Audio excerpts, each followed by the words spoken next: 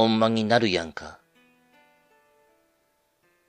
ひょんなことから彼と一緒に竹を使った音楽ワークショップに明日参加することになった。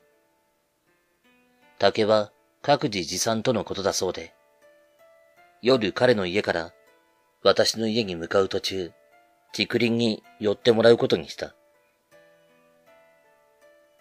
なんだかんだしていて、もう真夜中を過ぎてしまっていたが、計画は実行しようと竹林に立ち寄った。一応舗装はしてある細い抜け道みたいな車道を林に入っていくと、途端にあたりは車のライトがやけに強調されるほど真っ暗。未舗装の小道を50メートルほど入ったところで、ここだったら一、二本取ったって誰の迷惑にもならないだろうと車を止めた。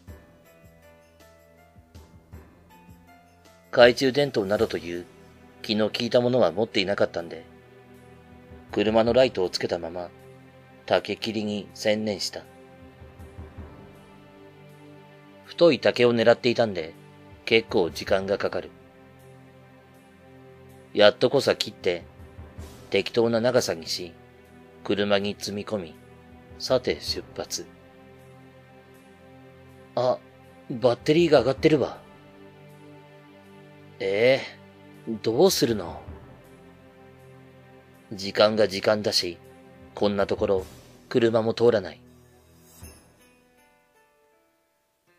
仕方なく私たちは、歩いて車道まで出て、公衆電話を探した。まだ携帯が普及していない時代のこと。幸運にも割と近くに電話を見つけて、まだ比較的近所、プラス、こんな時間でも出てきてくれる友人に電話をかけて、助けを求めた。友人は心よくすぐ来てくれるとのこと。ほっとした。さて、その友人が到着し、彼と二人はリードをつないで、車を復活させる作業にかかった。竹林の中、車のエンジン音がとても異質に響く。私はすることもないので、車の周辺をうろうろしていた。あれ？なんか聞こえる。車の騒音の中、右手の竹林の中から、歌みたいなものが聞こえてくる気がする。そちらに目を凝らしてみたが、もちろん真っ暗。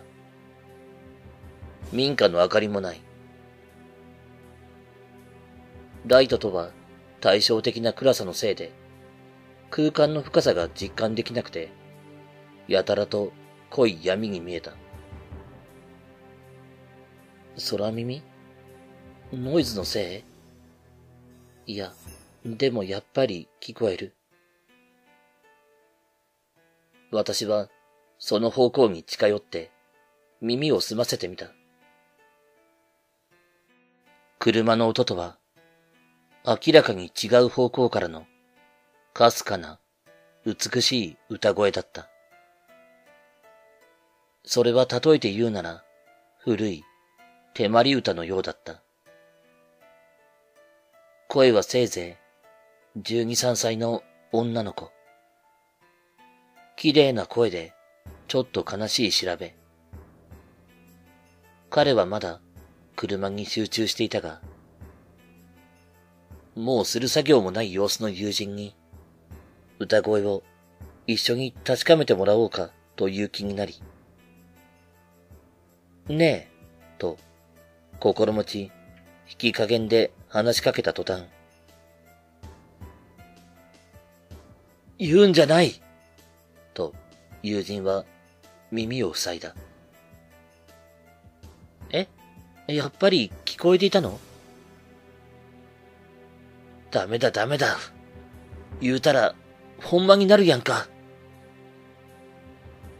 その瞬間、私たち二人は異様に寒いものを感じて、思わず手を取り合って固まってしまった。そこでちょうど車が復活して、何してるの？という顔の彼をせかし、私たちは竹林から脱出した。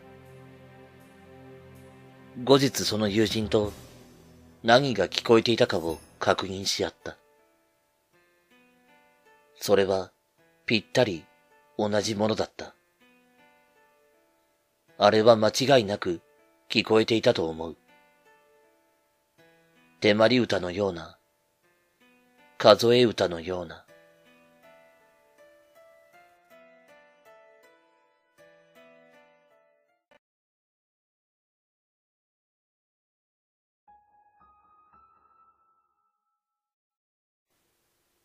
学校の校庭。私の姉が通う都立高校の話。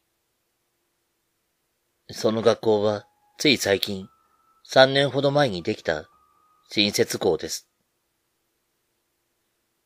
姉が入学した際にもらったパンフレットの写真では、テラスとかもあって、とてもおしゃれな、綺麗な校舎でした。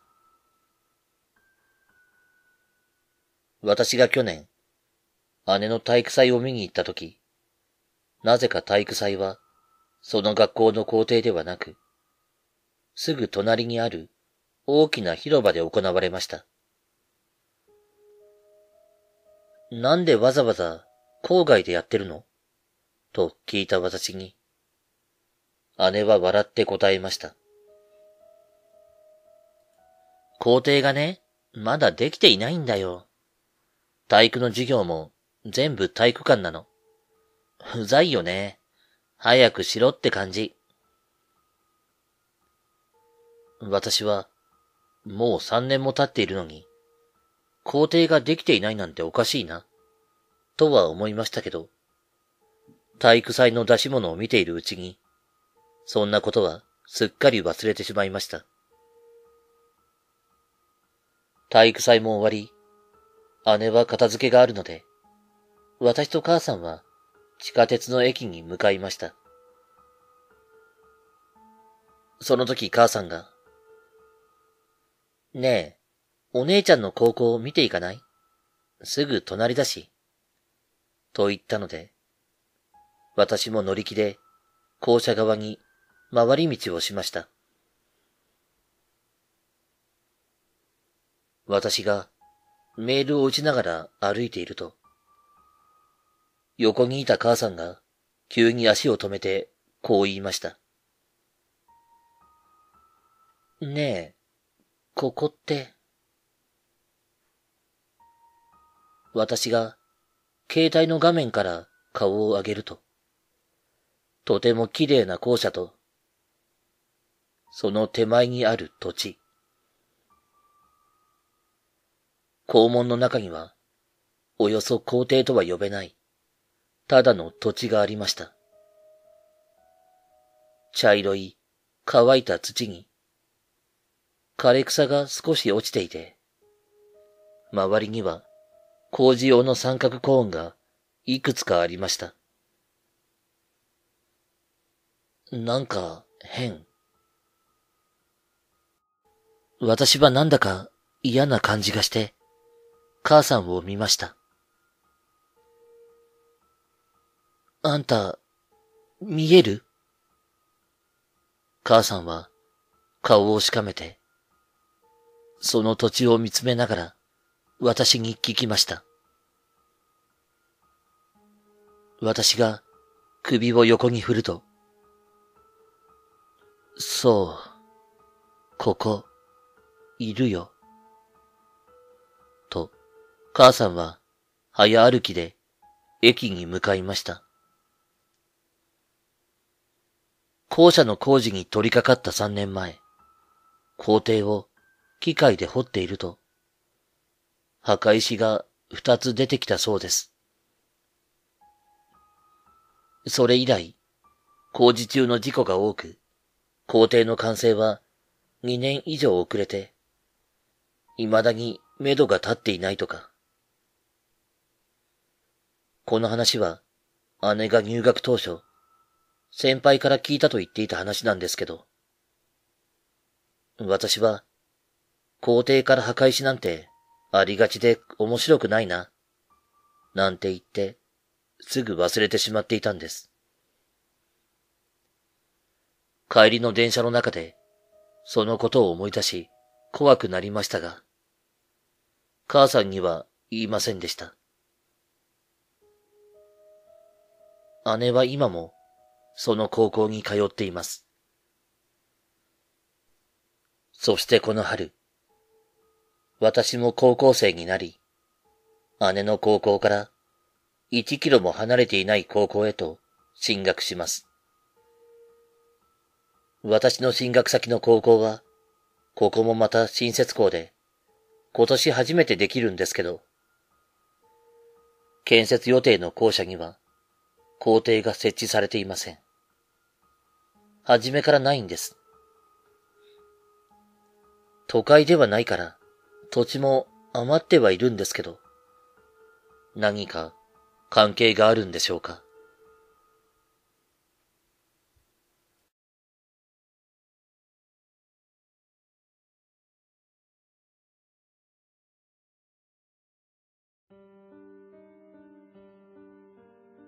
用水路の向こう側。小学校の4年生の頃に体験した話になります。家の隣は空き地になっていて、その周りは雑木林とか色々あって、格好の遊び場でした。まあその頃は秘密基地を作っていたんです。友達と適当に人気のない用水路の手前の林みたいなところを改造して、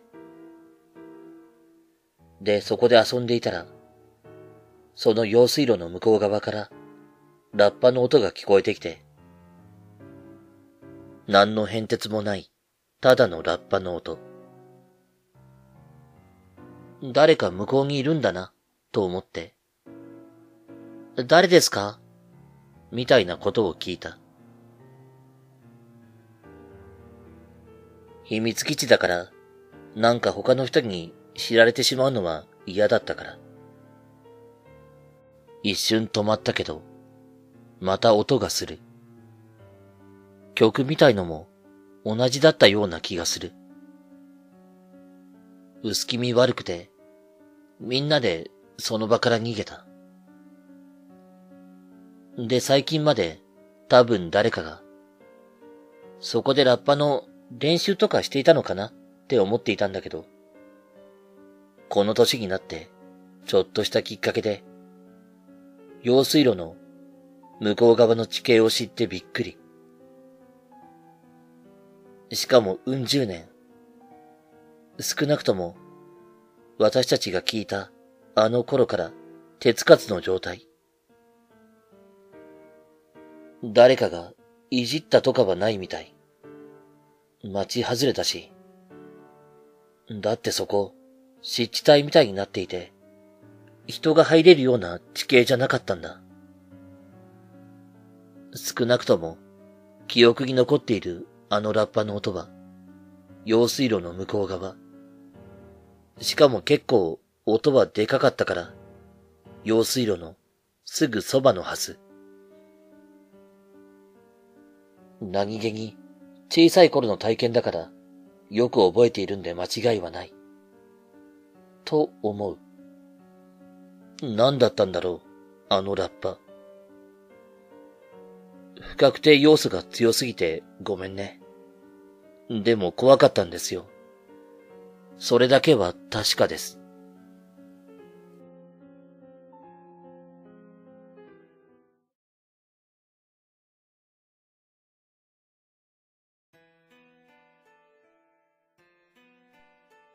ジューズ。俺、昔からサーフィンにハマっていて、平日でも時間があれば海に行っている。今から5年ほど前、すごい勢いで波乗りにはまっていた時期があり、その頃は定職にもつかずに、ひたすら毎日海に行っていた。そんなある日、久しぶりに、俺に波乗りを教えてくれた先輩から連絡があって、夜二人で飲みに行った。先輩は相変わらずで、最近体験したことを面白おかしく語ってくれた。そういや最近、〇〇ポイントで入ったか？いや、あそこ最近、あんまり良くないんで、行ってないですよ。そっか。俺さ、この前そこで入ったんだけど、なんか、気持ち悪い感じがするんだよな。波待ってて嫌な感じがして、すぐ上がったんだけどさ。お前も、もし入るんだったら気をつけろよ。何ですか？ギャグですか？はは、まあな。そこで二人で爆笑。俺はこの時の話は、すぐ忘れてしまっていた。数日後、当時付き合っていた女が、仕事が休みだったんで、一緒に雑貨屋に行った。買い物に付き合わされたんだ。その子は、ネックレスが欲しいらしくて、いろいろ悩みながら選んでいた。俺は暇だったんで、店の中をブラブラ眺めていた。ふと、一つのブレスに目が止まった。それはブレスというよりも、数珠みたいなもので、いろんな文字が刻まれた木製の玉が、川の紐に通してあるものだった。値段も安かったし、日雇いのバイトで金が少しあったんで、それを買って左足首につけてみた。また変なの買ってるし、って言われた。彼女は気に入ったものがなかったらしく、俺たちは店を出た。その後二人で飯を食っていたら、連れから連絡があった。明日の早朝5時に集合。海の誘いだった。翌朝5時、連れが来た。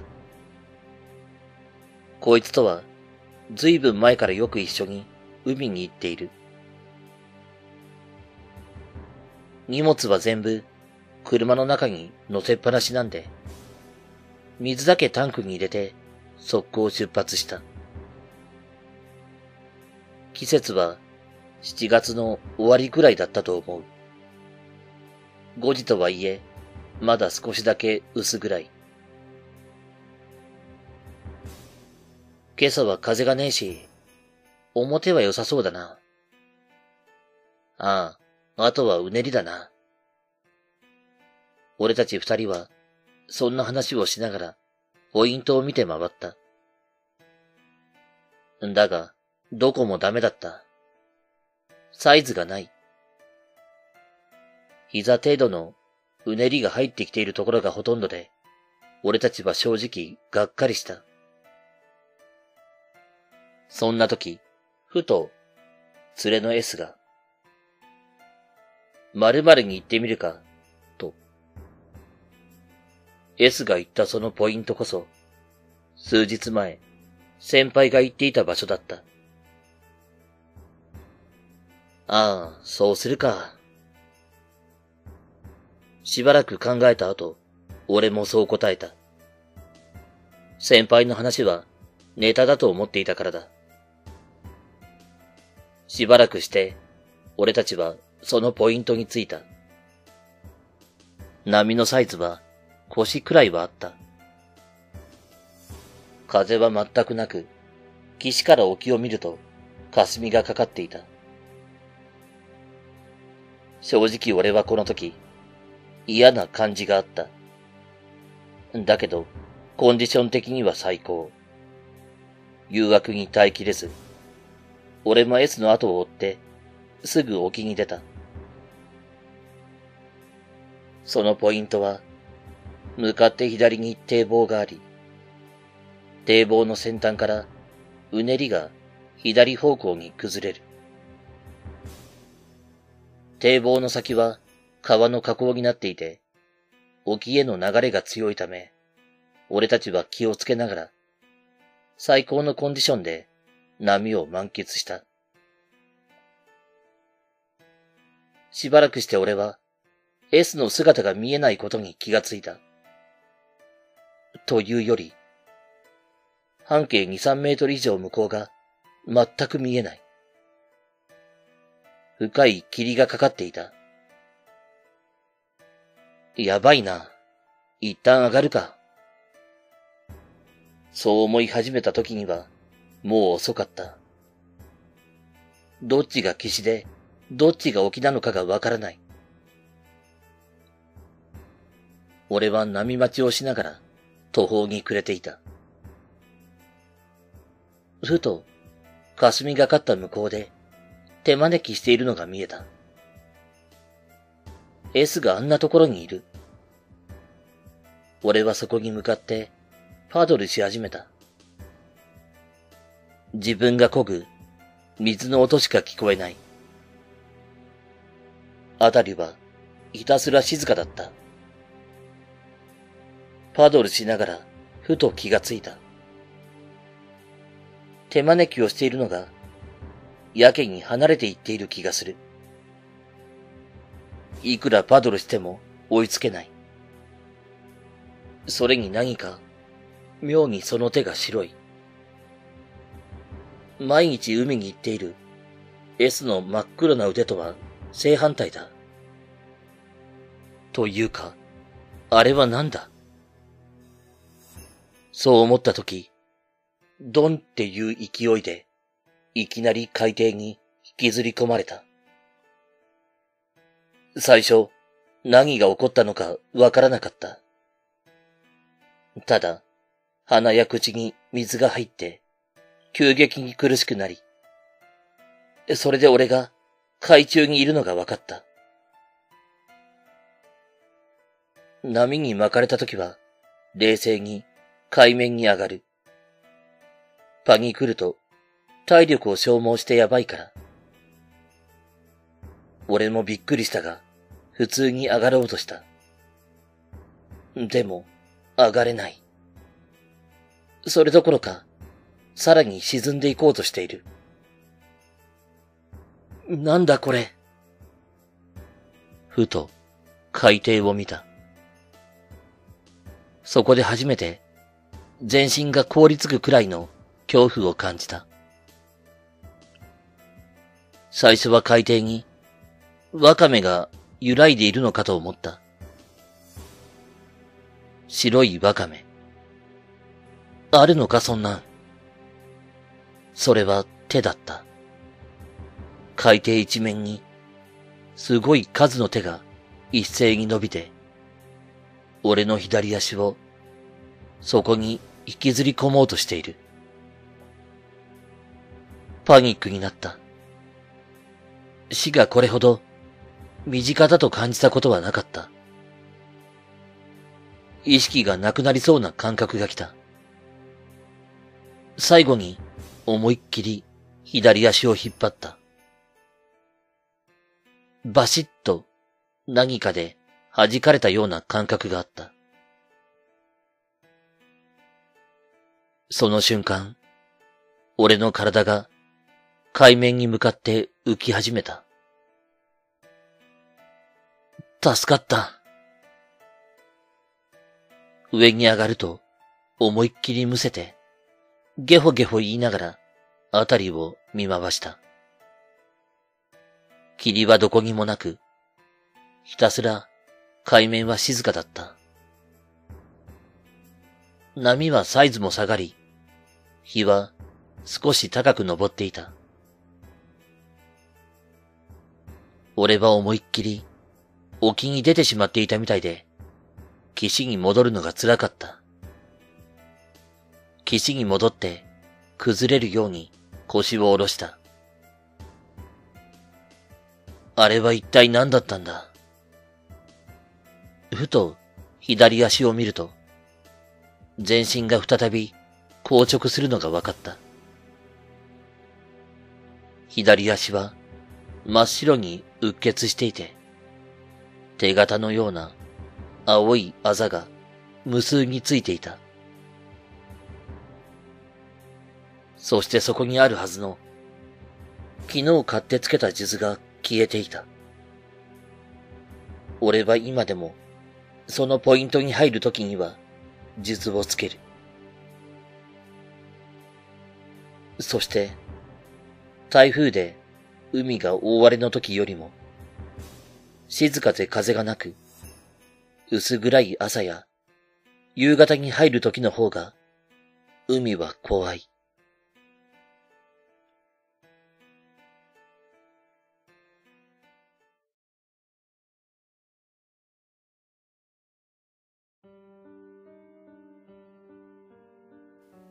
猛スピード。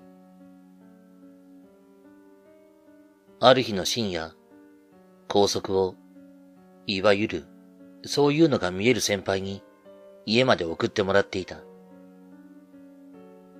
周りに車は一台もなかった。そして普通に先輩が運転をしていると、ここってなんか出るみたいだねって。え、出るって、幽霊ってやつですか？うん。なんかそういう話を聞いたことがあるんだけどね。ああ、こんな話はやめようか。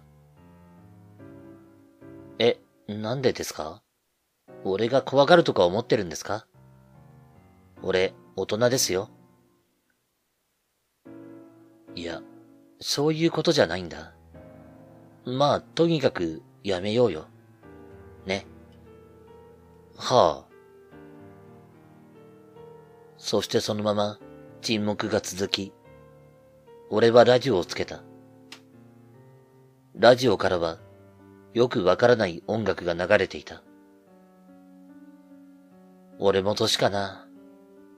そんなことを考えていたとき、先輩が額から汗をかき出した。あれ？先輩どうしたんですか？こんなに寒いのに汗なんてかい。おい、絶対に前だけ見ていろ。絶対横は見るなよ。捕まっておけ。そう言って先輩はアクセルを思いっきり踏んだ。俺はわけもわからなかった。一体どうしたんだろう。しかし、先輩の額の汗を見ると何も聞くことはできなかった。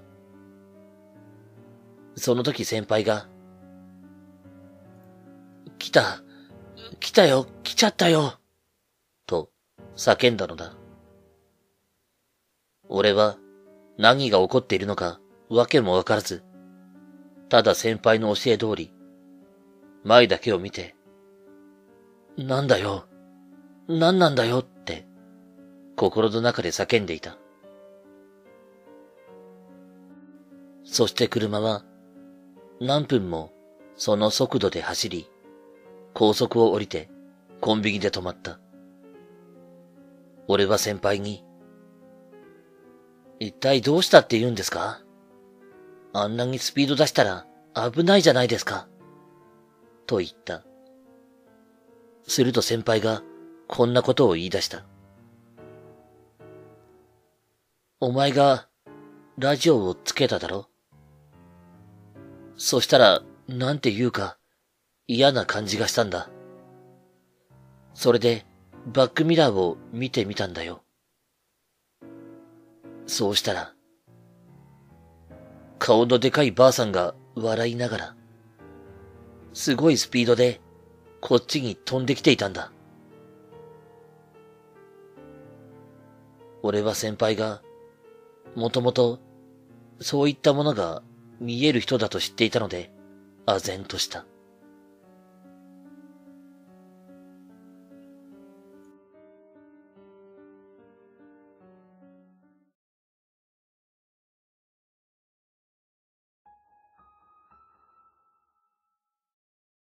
ペコペコ。学生時代にアパートを借りたんだ。それまでは寮で生活していたから、初めての一人暮らし。家賃や電気、ガス、水道、そういったものの支払いをやったことがないんで、次々止まっていったよ。まあ、そんなことはいいんだけど。住んでから3ヶ月、何も使えなくなってからは、もっぱらバイト先や友人宅を泊まり歩くようになり、自宅には荷物を取りに帰るくらいの毎日。で、住んでから半年、大学を中退して就職をすることが決まったんで、家賃の生産と引っ越しを親に任せ、大阪に移った。後から親に聞いたんだけど、不動産会社に散々嫌味を言われたらしい。お宅の息子さん、なんか宗教でもやってるんですか？毎朝、お経みたいなうなり声が聞こえていたと、上の階から苦情がありましたよ。伝えたくても、昼間は外に出ているみたいで、連絡がつかなかったんですけどね。って。当然俺は部屋にはいなかったんで、そんな音が聞こえてくるはずはない。でもそういえば、俺が以前寮に住んでいた時、俺の部屋の中からペコペコって音が結構頻繁にしていたんだ。もしかしたら、俺と一緒に、俺ではない誰かが一緒に住んでいたのかもしれないなって。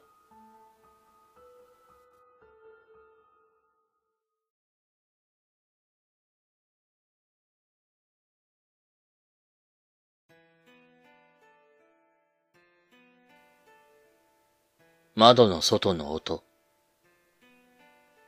今から1時間くらい前のこと。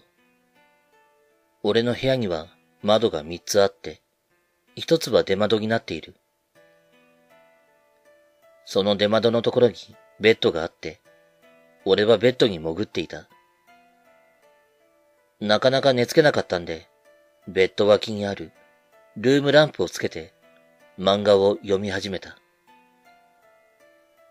三冊目を読み終えたところで、タバコに火をつけて、天井をぼーっと見上げていた。すると、ドドドドドド、キーと、新聞配達のカブの音が聞こえてきた。ちなみにうちは防音性が悪く、窓を閉めていても、家の前を通る車の音や人の話し声がよく聞こえてくる。もうこんな時間か、と思い、時計に目をやると、4時を回っている。まあ明日は休みだし、もう一冊読もうかなと思い、タバコを消して漫画を読み始めた。しばらくすると、キキーッとまたカブのブレーキの音が聞こえてきた。またしばらくすると、キキッと、またカブのブレーキ音。この時間で起きているのは、週末じゃそう珍しいことではないし、新聞配達のカブの音なんて聞き慣れている。でも、どうもおかしい。ブレーキの回数が多すぎる。普段なら、うちの周りを配り終えるだけの時間は過ぎているし、気のせいか、やけに耳障りだった。まあ、配り忘れか何かだろうと思い、気にしないようにして、また漫画を読み始めた。キキー。まただ。気のせいだろうか、音が大きくなっている気がした。もう寝ようと思い、ルームランプを消して、頭から布団に潜った。キキーまた聞こえた。しかも気のせいではない。音は確かに大きくなっている。キキー、キキー。連続して音が聞こえた。さすがに、なんだと思って、布団から出て、ルームランプをつけた。出窓から外を見ようと、カーテンを開けて、窓を開けた。顔を出して、家の前の通りを見ていたが、カブのエンジンの音も、ブレーキの音も聞こえては来ない。おかしいな、と思い、窓を閉めた。その時、キーキー、キーキー。これは、ブレーキの音ではない。そう直感した。しかも、大きくなっているのではなく、近づいてきている。そう考えると、途端に怖くなり、カーテンも閉めず、ルームランプもつけたまま、布団に潜り込んだ。キーヒキー、キーキー、キー。間違いない。これは、人の声だ。体中から汗が吹き出してくるのを感じた。ひー。体がビクッと震えた。今までで一番大きくそして一番近いところから、その声は聞こえた。もう、限界だった。逃げよう。そう思い、布団から起き上がろうとすると、ドン。窓に何かぶつかる音がした。俺はそのまま、ベッドから崩れるようにして落ちて、部屋を出て、一階に降りた。家の電話から近所の友人に電話をかけ、頼むからすぐ来てくれと必死になって頼んだ。外で待っていると、すぐ友人は来てくれた。わけは後で話すからと、車に乗って、今俺は友人の家にいる。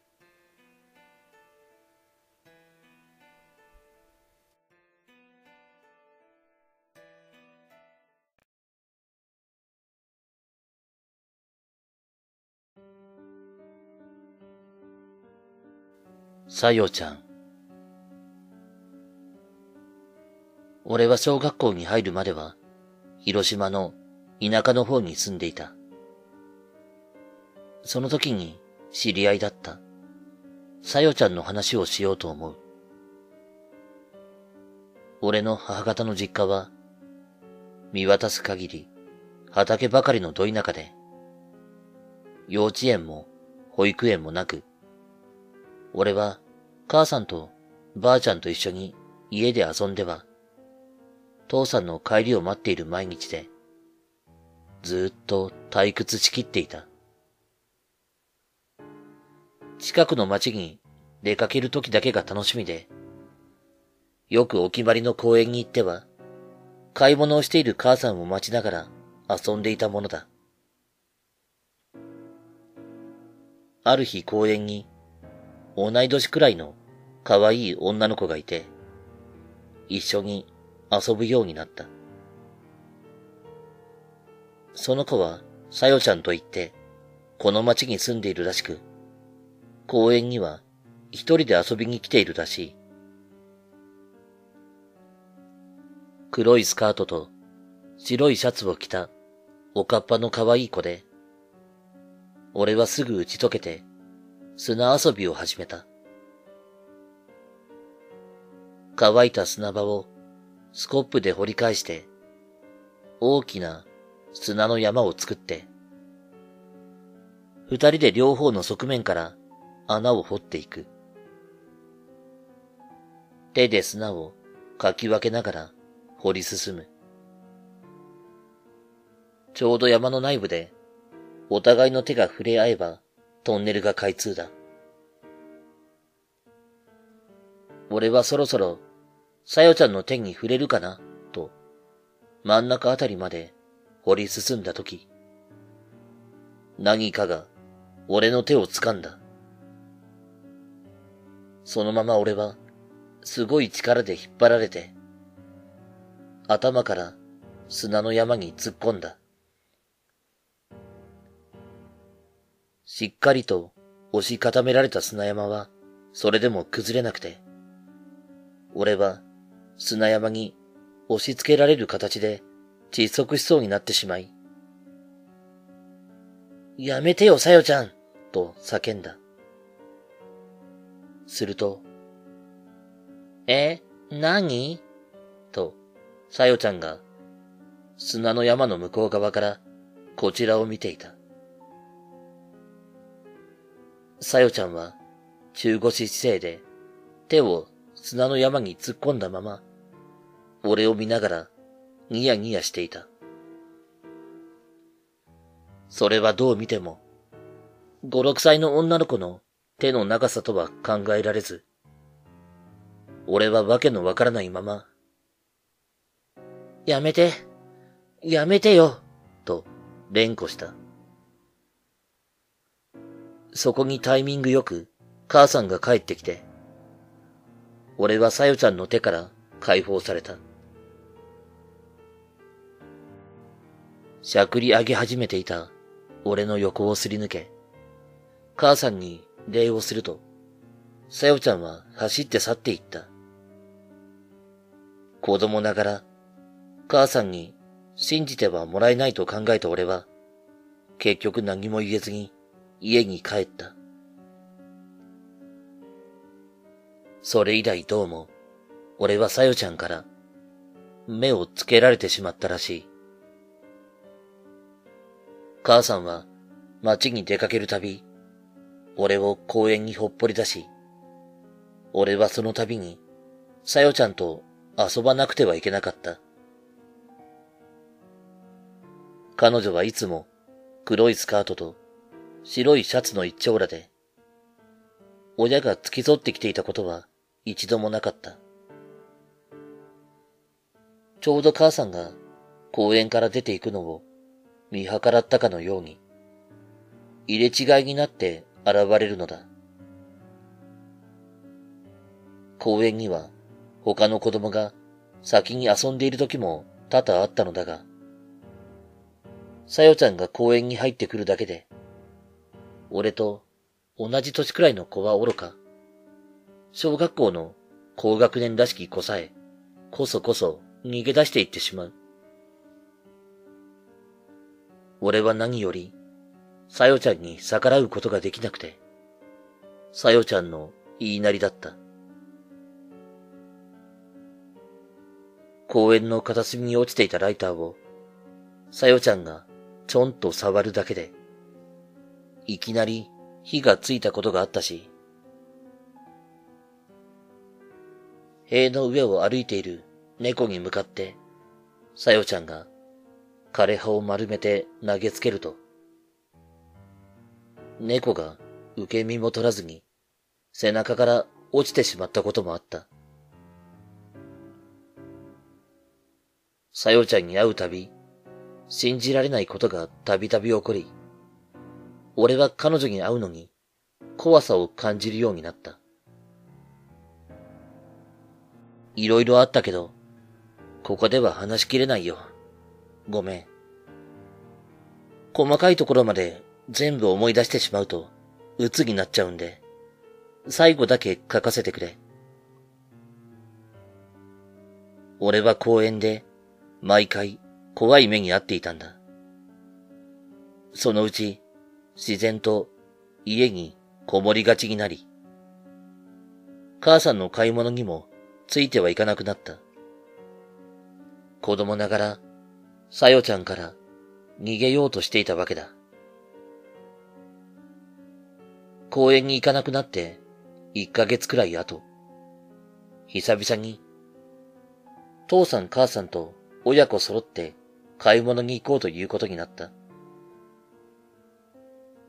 父さんが車を出すと言うから。なら、さよちゃんには会わなくても済む。そう思って俺は快諾した。デパートを回って楽しいひとときを過ごした後、俺が乗った車は帰り道で公園の前に差し掛かった。公園の入り口はこちらの車線の歩道にあって、タイミングが悪いことに、車はちょうどその入り口近くで信号に止められてしまった。俺は内心、さよちゃんに見つからないようにドキドキしながら、窓からこっそりと公園の中を伺った。すると、いた。一人で、何かを指さしながら、ゲラゲラ笑っていた。よほどおかしいのか、まるでのたうち回るように、地面に這いつくばって笑い転げていた。俺は唖然となったが、その時、信号が青に変わって、車が発車した。さよちゃんの姿が流れていった。しかし、さよちゃんの指先は、俺の車の動く方向へとスライドしていった。彼女は、俺が乗った車を指さして笑っていたんだ。俺は、なぜ俺が乗っていたのかが分かったんだろうかと考えるより、とても怖くなった。次の日父さんは、車の激しい追突事故で、頸椎に損傷。ほぼ一生、入院生活が決まってしまい、九州の病院に。母さんと俺は、一緒に九州に行き、父方の実家の世話になり、そこで小学校に入学した。さよちゃんと会うことはもうなかった。俺は父さんの事故は、さよちゃんのせいだとは思っていない。というか、思いたくない。俺まで連帯責任を感じてしまうし、何より、あの女の仕業かも、と考えるだけで、恐ろしく、忌々しく感じて、今でもとても腹が立つから。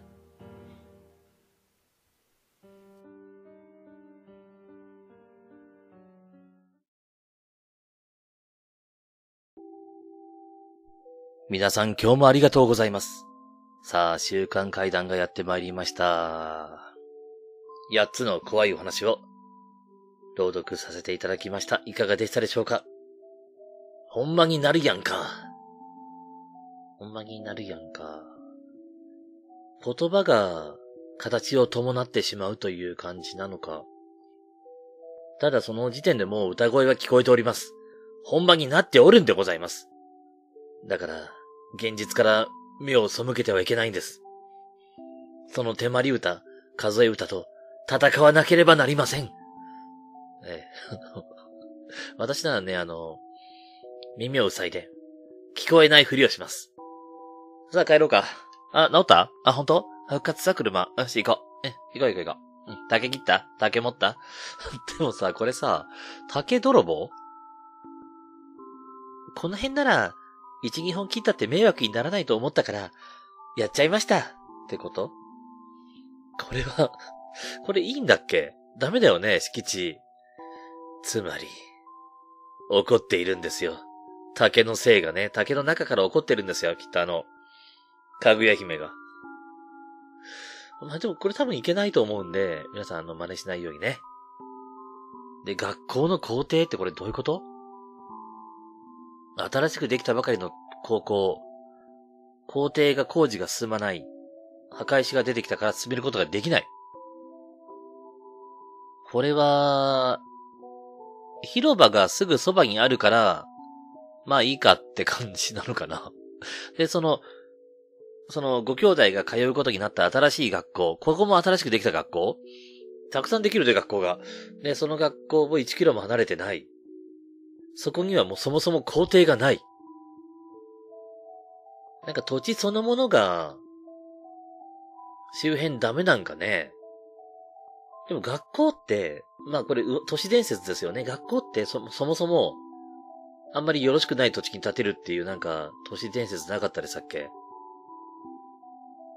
なんかね、聞いたことあるんですよ。もともと、まあ今はわかりませんけど、もともとあんまりよろしくない土地にね、建てているみたいなことを、どこかで聞いたことがあって、本当だったらめちゃめちゃくちゃ怖いよね、これ。だって その土地ね。うん。そうか、皇帝か。大阪とかの東京とかの都心の方って、校庭狭いでしょ都会の小学校って。あの、名古屋でもね、あの、まあ、周りの方はそうでもないんだけど、中心地、もう、例えば名古屋駅とか栄とか中心にしたような地域のに近い小学校はすごい狭いです。校庭が。むちゃくちゃ狭いですよ。もともと土地がないから、だとね、思うんだけど、狭くて50メートルがね、ご、ど、どっかの学校が確か50メートルが曲線になってるんじゃなかったかなまっすぐ取れないかな？私の中学校はね、名古屋市でも一応ね、100メートルを斜めにすれば取れた。斜めにすれば校庭を。まっすぐは無理だけど、斜めにすれば100メートル一応取れた。ですけどね、まあ土地事情ですよね、これはね。何かしらの土地事情があ、ありましてね。あの、呪い事情もありまして、このような形になっているんじゃないかなと思いますが、いかがです、いかがでしたでしょうか？用水路の向こう側。子供の頃ってさ、秘密基地とか作りたくなるよね。ただその向こうの土地を知らなかったなんてことってありえますか？とか思うかもしれないけど、あるよね、これ。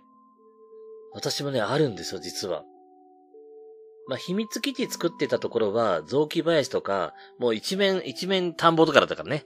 その田んぼの中にポツンポツンと雑木林があったから、先が見えないってことはないんですけど、よくね、あの、ザリガニとかをね、あの、取りに行っていた用水路、本当に言っちゃいけないんですけど、そこがね、あの、住宅街を通っていくんですけど、その住宅街を抜けた先の記憶がないんですよ、僕未だに。なんかあるはずなんですけど、あのね、すごくわかりやすく言えてないと思うんだけど、小学校の時数年間ね、マンモス団地に住んでたんですよ。団地の中にショッピングセンターがあって、銀行とか郵便局もあって、全部賄えるようなとこだったんです。で、その団地の中に小学校もあって、で、団地の周りに、まあ、要はね、団地が丸い、丸い島に作られてる。80何棟とか90何棟とかあるんですよ。その団地の中に、いろんな人があって、小学校もみんな来てて、ただ、団地の周りに住宅街が若干あるんです。一軒家ですね。まあ、要はあの、山の手ってこと？うん。あるんですよ。その子たちも当然あの、通ってくるんですね。で、団地があり、周辺に住宅街があり、で、その、両、その住宅街の向こうは、まあ、例えばの東と西は、東側はあの、駅の方向に。西側は隣の市に向かって田んぼばっか。まあ、要はこの田んぼばっかり遊んだんですけど、あの、だから、北と南で、本当はあの方角ちょっと違いますからね。これはわかりやすく言ってます。南はね、線路とかあって、川とかあって、もう、どんどんちょっとなんでしょうね、工場地帯とかになってるんですよ。で、北だけね、北側がね、思い出せないんですよ。数年いたはずなのに、要は、その北側の住宅街を抜けた先のことが記憶がないんですよ。田んぼではないんです。田んぼはあの、そっち側にはなかったんで、何があったんだろうって未だにね、この話を読んでて、そういえばあの先って何があるんだろうって。まあ、今更見に行くことはないけど、ちょっとね、あの、Google マップ見てみようかなって。まあ、だいぶ変わっちゃってるとは思いますけどね。だからそういったことってあるんだろうなって思うんですよね。ジ数珠。そこまでして、サーフィンをしたいんだね。やっぱりね、あれ魅力あるんだろうね。やったことなくてね、誘われたことはあったんですけど、揃えなきゃいけないものが結構あるでしょ？というのと、今の車は多分乗るんですけど、当時の車ね、それ乗らなかったんですよ。ショートもあるよとか言われたんですけど、ショートボード、ロングボード。ね、なかなか時間とかね、その経済的な余裕もなくて、あの、パワハラ会社にいた時のことだったんで、できなかったんですけどね、ちょっと興味はね、一時期あったんですけど、楽しい方にはやっぱり楽しいんだよね、あれね。そういうその、アウトドア的な趣味が僕あんまりないんで、サーフィンか、海が怖いんだよね。うん。そ、そもそも、海が怖いんだよね。山も怖いんだよねって言っちゃってるとね、何もできないんだけど、ちょっとサーフィンはね、興味があった。今でもちょっとだけある。あるんだけど、なかなかね、積極的には。要はこれ、海でね、その亡くなった方とかが、そこに渦巻いてて、引っ張り込んでる。でも、数珠が守ってくれたってことだよね。ただね、数珠で守りきれればいいけど、守りきれない場合があるからね、これね。やっぱやめよう。やめようっていうか、やめる、やめようとは言えないね。十分ね、あの、レジャー楽しむ方は気をつけてくださいね。え、猛スピード。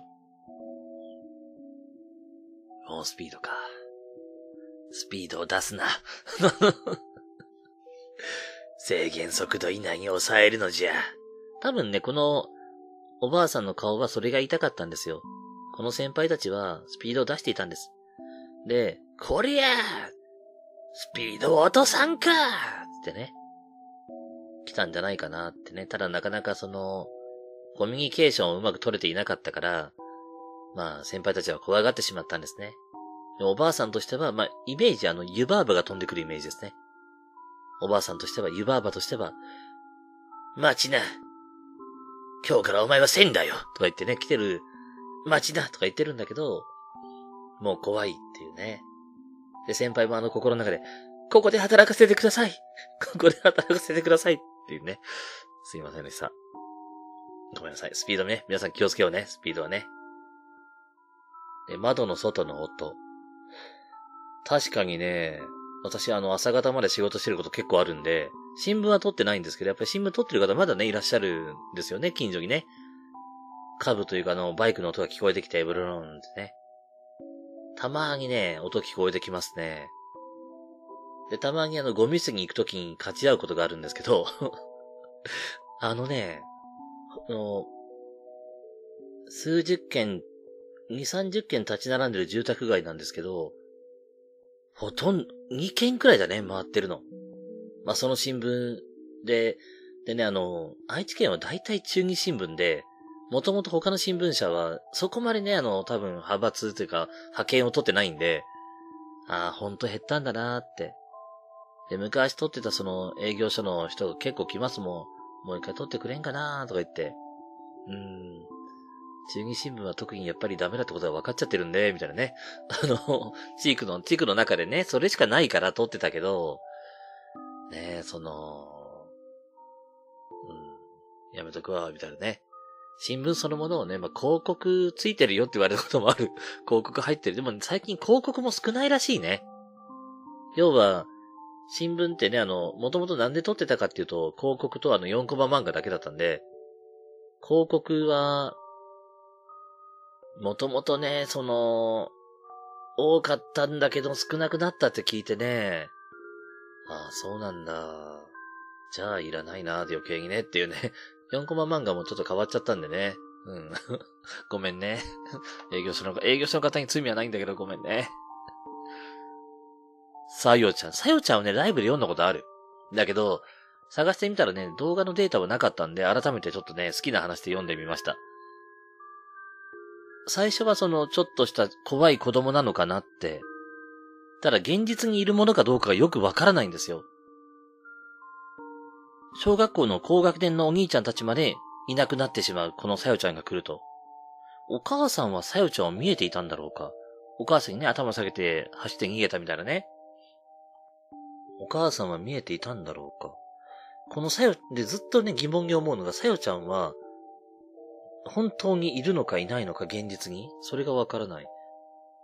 で、お父さんの事故関係ないと思いたいけど、この最後の事故がね、ちょ、なんか軽く、その、短い文章でまとめられちゃってるんだけど、お父さん一生入院って重たくない？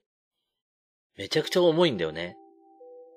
もしもこれがさよちゃんの因縁か何かだったら、さよちゃんに対して何にもやってない。ただ目をつけられただけ一緒に遊んでいただけそれによってここまで波及してしまうっていうのは、意外にこれが現実のもので、もし、え、なんか因縁があったら、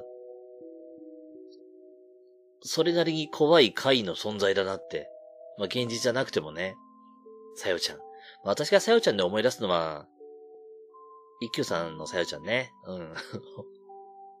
一番思い出すのはさよちゃんって一休さんの、あの、暗黒寺にいる、おじいさんの、お嬢さんじゃないおじいさん、多分あの、お手伝いさんかなんかのおじいさんのね、お孫さんのさよちゃんですね。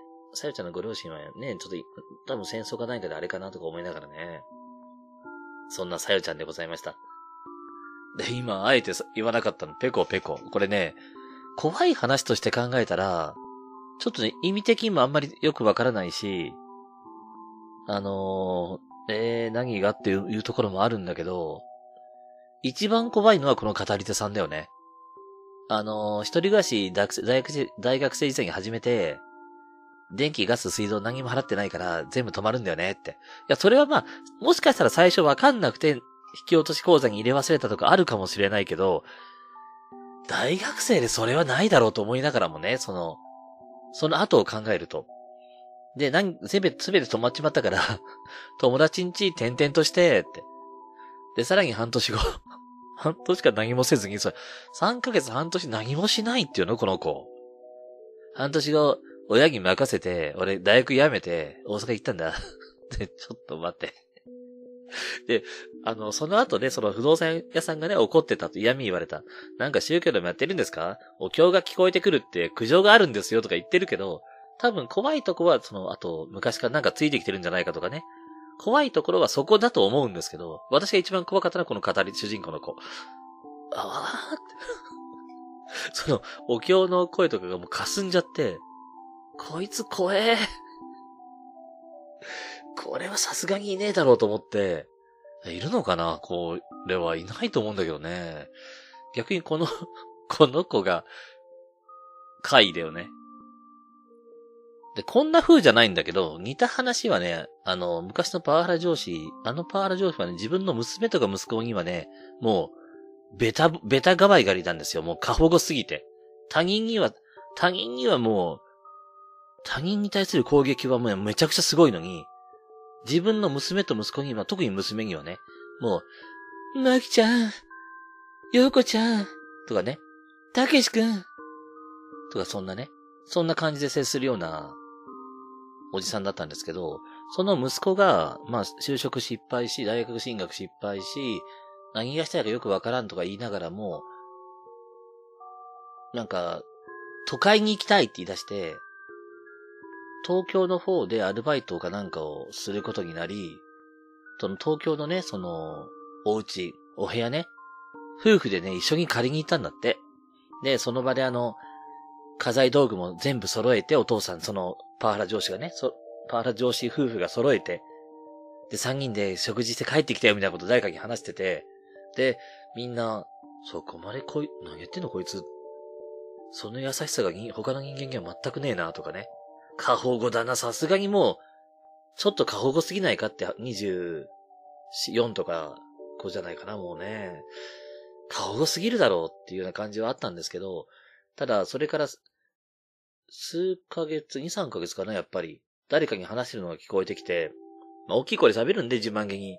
多分これ自慢として話したと思うんですけど、昨日さ、あの、息子から電話ってさ、って。あの、あいつバカだからさ、って笑いながらね、なんか、ほがらかに笑いながら、あの、電気代とか全部払ってなくて、どうしていいかわかんないって言ってんだよって。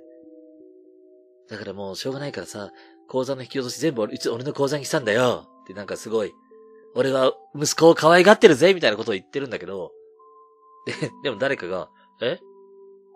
息子さんでも25とかでしょ？って。え？って、なんかね、あの、ね、結婚してる可能性もある年齢じゃないですか、もう25って言うとね。え？え、引き落としとかって知らないんですか？みたいな。うん、まあ、まあ、まあ、ずっとうちで暮らしてたからさ、みたいなね。こと言ってるのをこのペコペコ思い出したから読んだ。怖い話というよりもそれを思い出してこれが言いたかったから読んだ。ということで ありがとうございます。ね、皆さん今日もありがとうございました。3月も明日で終わり。ね、素晴らしい月3月がもうすぐ終わってしまう。皆さんね、皆さんの私の誕生日のお祝い、お言葉、本当にありがとうございました。いただき物もね、あの、お気持ちもいただいてるんですけど、あの、ちょっとね、数も多いので、なかなかご紹介が今できてないんですけど、本当に皆さんありがとうございます。そして皆様からのお誕生日お祝いのお言葉、もう本当に嬉しかったです。ありがとうございます。ということで今日水曜日。水曜日のね、定期ライブ、ちょっと短めになると思いますけど、ライブはやりますからぜひ来てくださいね。10時半です。それでは、皆さんチャンネル登録、高評価、ベルマークの通知を、プラスエンドレス再生お願いいたします。また次の動画ライブでお会いいたしましょう。皆さん CU でございます。皆さんありがとう。またね